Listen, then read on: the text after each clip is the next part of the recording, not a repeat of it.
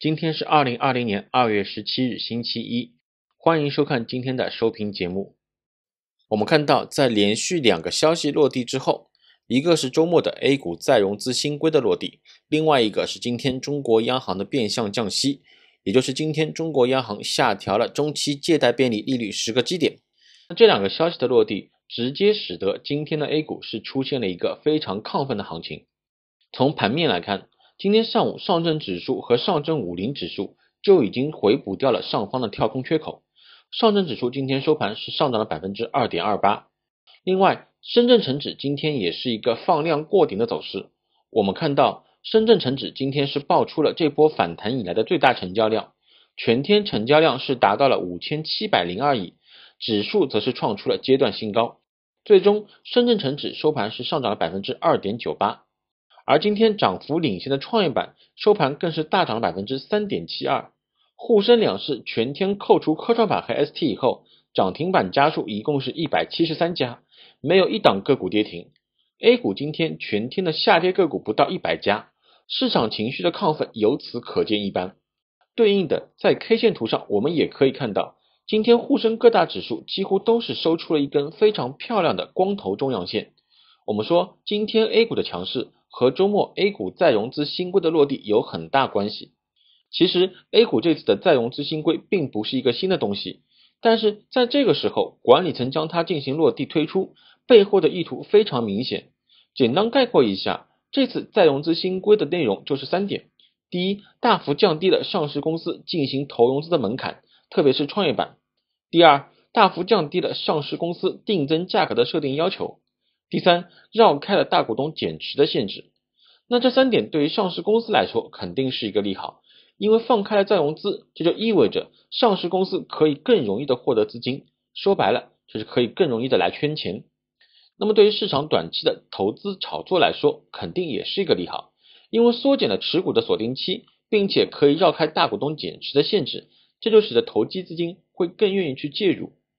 那管理层在这个时候正式落地再融资新规，就是希望可以帮助上市公司去降低再融资的门槛，从而获得更多的资金支持。为现在的实体经济注入一定的活力，但是反过来说，这样的规定无疑是放开了上市公司和基金公司的合作，为双方进行资本运作以及市值管理打开了大门。这么说可能会有些拗口，那么换句大白话来说，就是我们后面又会看到接连不断的项目定增方案出台，政策为上市公司和机构打开了题材炒作的空间。这样的一个政策，对于 A 股市场短线来说肯定是一个利好。但是对长线来说，答案却不一定。原因很简单，就是资金的供求关系。A 股之前每年的 IPO 募资规模也就是两千多亿左右，而对标二零零六年和二零一五年的那两次再融资松绑后的情况来看，之前再融资的资金募集规模都是在一万多亿，所以长期来看，市场能否有这么多的资金供给，会是一个问号。但是我们说那是以后的事，对于很多人来说，大家眼下关心的是。同样是再融资的松绑，A 股会不会重演二零零六年和二零一五年那两次再融资松绑后的疯牛行情呢？对于这个问题，我们的看法是可能性很低。原因有三个：第一，现在中国经济是一个下行周期，这和二零零六年和二零一五年的情况是截然不同的；第二，目前 A 股的总市值比二零零六年的时候要大了很多；第三，二零一五年的那波疯牛，当时除了再融资松绑以外，杠杆资金的大量入市也是一个关键因素。从现在的情况来看，这个因素再度出现的概率，我们认为并不会很大。所以，我们认为 A 股再现二零零六年和二零一五年的疯牛行情的可能性也不会很大。接着，我们来看一下今天的龙虎榜数据。今天因为中小板和创业板指数涨幅都超过了百分之三，所以很多个股数据是可以不用披露的。因此，我们看到今天龙虎榜上主要获得机构资金增持的个股只有五家。第一家朗迪科技今天是大跌了百分之九点九，不过机构资金却是逆势增持了一千五百万。第二家公牛集团今天是公牛集团上市后连续一字板开板的第一天，我们看到三家机构席位是火速增持了八点八九亿。对比今天公牛集团全天五十五点二二亿的成交量来说，机构资金的占比就占了全天总成交量的百分之十六左右。这也就是说。公牛集团目前六千万的流通股中，今天就有百分之十的流通股被机构资金所买入。第三家博通集成有一些智能穿戴概念，连续三天数据显示，机构席位是累计增持了七千五百零二万元。第四家元龙雅图网红概念，今天是获得机构资金增持两千三百三十五万元。第五家安博通网络安全概念，今天是获得机构资金增持四千三百七十六万元。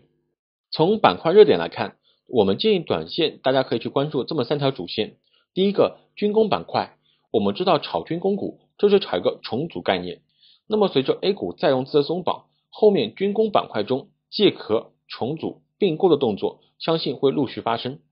第二个科技股，这也是我们认为整个二零二零年最关键的主线之一。但是眼下考虑到不少科技股的股价已经被炒得很高了，所以我们不建议大家去做一个追涨。对于科技股，短线我们可以去适当关注两个方向。第一个就是新出来的题材，由小米新推出的 WiFi 六路由器和充电器所引发的氮化钾充电这一块；另一个就是前期调整比较充分的科技股，比如说像芯片以及 PCB 之类的。第三个农业板块，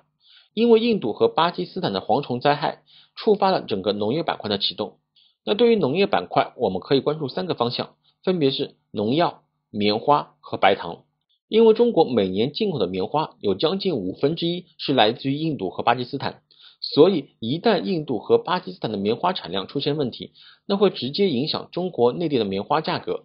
其次，印度也是全世界蔗糖的主要生产国之一，所以印度的蝗虫灾害可能会对全球的白糖价格造成一定的影响。接着，我们来看一下今天的北向资金，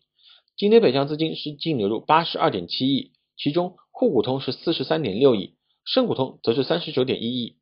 北向资金的表现今天是和大盘出现了小幅的背离，北上资金今天是一个沪强深弱，而大盘指数今天则是一个深强沪弱。所以从这个背离的信号来看，我们不建议大家在这个时间点去做一个过度的追高，并且我们还需要警惕市场短线可能会出现的震荡。另外，今天北向资金个股活跃数据中。我们可以看到，今天北向资金净流入前五名的分别是：贵州茅台净流入六点二亿，中国平安净流入三个亿，中兴通讯净流入二点七亿，宁德时代净流入二点四亿，五粮液净流入一点八亿。那今天北向资金净流出前三名的则是万科 A 净流出四点三亿，隆基股份净流出三个亿，格力电器净流出一点九亿。我们可以看到，贵州茅台和中国平安这两家龙头今天是再次排在了北向资金净流入的第一名和第二名。最后，我们简单总结一下目前的操作策略。总体来说，这个时候我们不建议大家去做一个追涨的动作，挖掘个股和板块的补涨效应依然是现在最为稳妥的一个方法。之前我们认为 A 股在完成回补缺口的动作以后，市场会迎来一波技术性的调整，因为指数上方的压力非常明显。这一点从上证五零周 K 线图上我们可以清楚的看到，五周线和十周线以及二十周线都是一个死叉。但是另一方面，因为周末 A 股再融资新规的落地，我们也看到今天 A 股涌入的资金是超出预期的。那随着 A 股再融资的松绑，这势必会引发机构投资者参与定增、重组或是并购的兴趣。所以接下来 A 股能否突破上方的阻力位置，成交量就成了一个非常关键的指标。其中，特别是券商股的成交量，我们看到今天券商板块全天成交量是五百三十七亿，券商板块中的龙头中信证券今天全天七十六点三七亿的成交量，也是位列沪深两市成交金额榜的第一名。那后面券商板块能否继续维持四百亿以上的成交量，会是一个非常关键的指标。我们说，如果券商股后面是一个虎头蛇尾的表现。那么 A 股在连续反弹之后的回撤力度也会是比较大的。科技股方面，我们依然可以将卓胜微定为一个非常重要的风向标来进行研判。那么这是今天的收评节目，我们明天再见，谢谢。